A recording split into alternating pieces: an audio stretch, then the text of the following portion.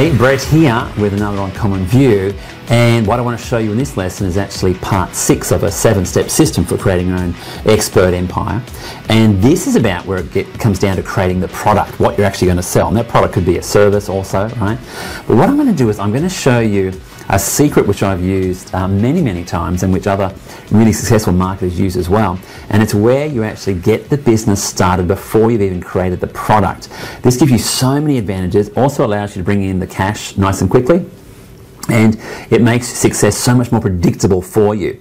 So you end up with a lot. You end up with a lot less arrows in your back. You know, if you're a pioneer, you can get hammered pretty, pretty easily and pretty quickly. But if you do it my way, you'll be able to break new boundaries but also have a, a safe business plan and then actually make a whole lot of money before you've done a whole lot of work as well. So this is a really cool way of looking at creating the product um, of your expert empire. I hope you enjoy it.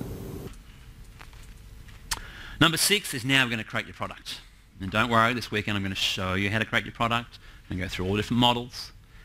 But we create our products And we're going to start small and build up. All right? You don't have to go and create a $3,000 program this weekend. We're going to create something. We're going to build up as we go. The, the fact that you're taking action in creating anything at all is a good step.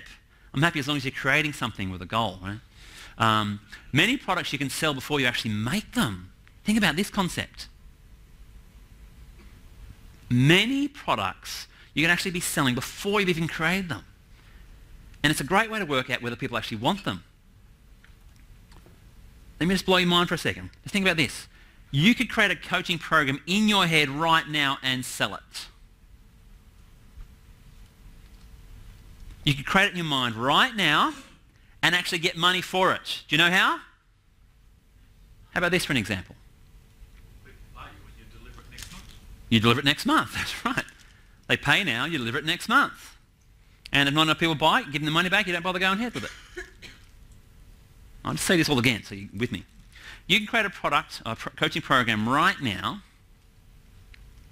based on problems you know think, you think people are having and um, start offering it. Start actually marketing. Get some advertising happening, lead them to a website, tell them about what you're offering, and people might start buying. If they start buying, you go, holy shit, I better create it. Or or you say, not enough people have bought it really. You know, a thousand people have been to that page, a thousand people opted in, and one has bought. Nah, it's not going to sell. And you give that person their money back, and you start again.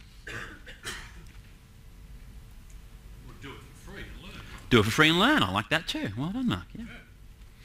Um, like, what if there was a program? If um, the program was this, where I showed you exactly, step by step, how to have your videos at the top of YouTube when anybody typed in your keyword. I showed you every single step. Not only that, but we set up the website that goes with the YouTube video. So when someone went to the video, they could click on your website and we, we create the website for you. And when they go there, we have an opt-in page for you. So people leave their details and they get sent through to your sales letter and all the autoresponders hooked up, all the credit cards processed. It's all done for you. Who'd actually be interested in that program there? One, two, three, four. okay, 50, 60 people. I just created that out of my head. And at least 60 people here want the program. True or true? This is the power of the example, yes? Just the people actually buy the concept alone. So I just test marketed you there to see whether the idea would fly. Now, what, would I, what should I do? Go and make that now. Or if you're faster than me, you should go and make it. Or a joint venture then. You're good thinking, all right. So what I'm trying to say is you're selling a concept, so you can actually try concepts out right now. If you think you know it's going to work, then concept it, try it out, see if people want to buy it. You don't have to wait till it's done. This could be one of the biggest secrets I give you this weekend. You don't need to wait till the product's done to sell it. You're selling a concept anyway. Just sell it and create it later. And you can do stuff like, you know, we deliver it monthly. So you sell a 12-month program right now and you're going to teach people every month. So we start next month. So you get, a, you get a month to sell it. If enough people buy it, keep going. If they don't, maybe you don't keep going. Good or good? It's whether you have the guts to do it, right? But honestly, it's one of the power strategies you could use. Um, your mission in all of this is to make stuff easy. Make stuff what? Easy. easy. To make it easy.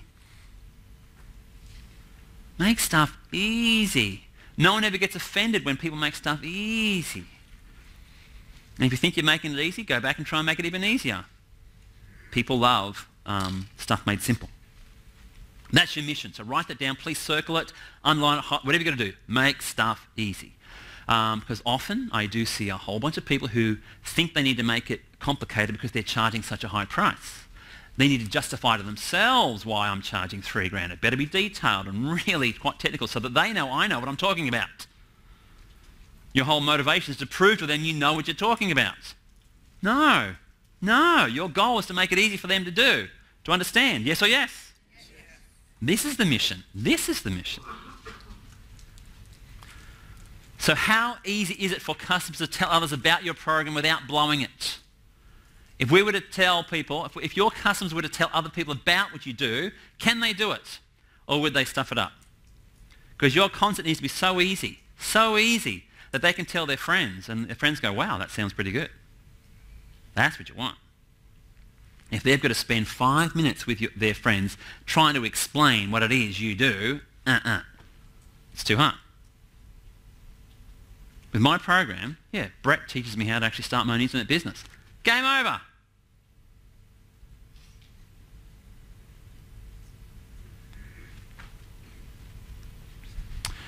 And here's a question. Can they gift their like-minded friends a sample of your programs? Hold on. A lot of your marketing is going to come from word of mouth. So someone joins your program. Their, their friends are going to ask them, what are you doing?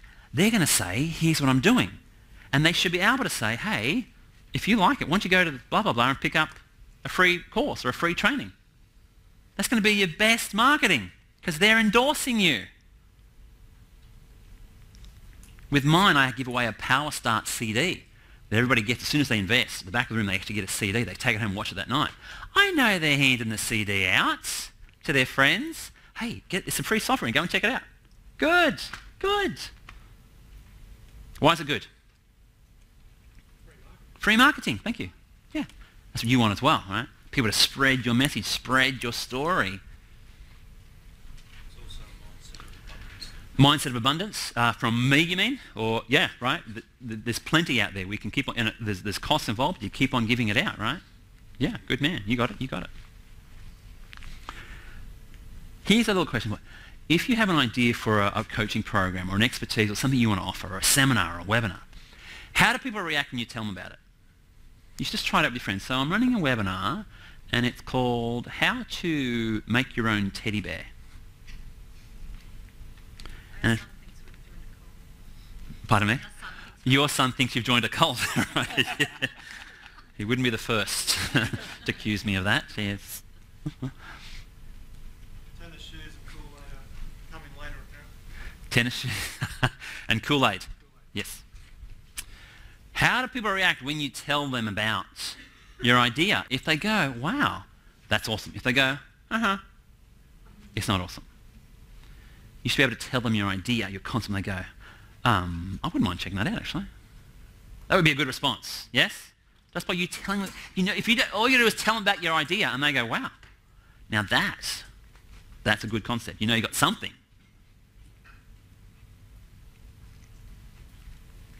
All right, here's a little, I'm going to step outside the teaching for a second, but I'm still going to teach something that's not about internet marketing, but it is about internet marketing.